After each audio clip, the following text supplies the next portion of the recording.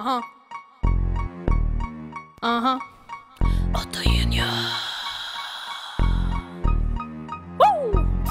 Jeg er rastløs, men hva faen skal jeg gjøre? Får ikke drikke, får ikke feste, får ikke pule, får ikke kjøre. Har prøvd å gå på kamp, men det var ingen som fortalte at man ikke kunne ha med verken gunner eller balltre. Alle barn skal ha rett til å gå på en skole, men hva skjedde med retten til å handle på polet? Det er en menneskerett for meg å kunne ta meg en fest. At jeg ber om pils, men jeg får bare kjeft. Flere voksne sier til meg du må gå til psykolog. Men jeg går jo til den beste, nemlig Snoop Doggy Dogg. Jeg spurte Snoop hvem han ville ligget med av disse. Han svarte begge to, for ordet som er nisse. Jeg var en rundbrenner før, men alt ble forandra den dagen jeg fikk nærkontakt med Lene Alexandra. Men hun nekta meg å gjøre henne til min bitch, så nå er jeg bare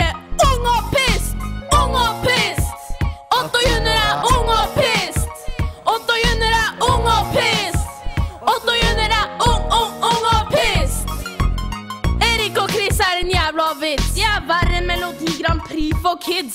Som er barnemesterskap i å drite seg ut på scenen. Jeg spyr hver gang jeg hører Orjurskabena. Drittfilm for barn, si meg hva er poenget? Olsemannen junior, fuck meg hardt og lenge. Helmaks Egon og jeg har en plan. Jeg har en plan, gi bank så fort som faen. Jeg ser en rikmannsbil, det er ikke sånn det skal være. Da går jeg rolig bort og blir bedre kjent med skjæra. Jeg hater topp. Jeg hater Donald Duck. Jeg vil ha blader med damer som suger forbudt fra 2009. Da er jeg i puberteten. Det har ingenting å si. Jeg hater alt av politikk. Jeg blir heller anarkist. Jeg er Otto Junior, og jeg er ung og pist!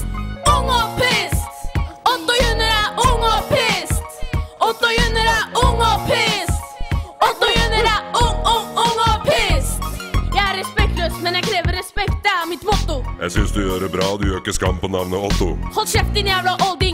Er bare kødda. Å bli hetsa og fornærma, det har aldri noen dødd av. Kan du lære meg noe mer, din jævla fuckings imbisil? Bli litt grovere i kjeften, det er alt som skal til. Jeg er Otto. Snart er jeg pensjonist. Jeg er Otto junior, og jeg er ung og pissed! Ung og pissed! Otto junior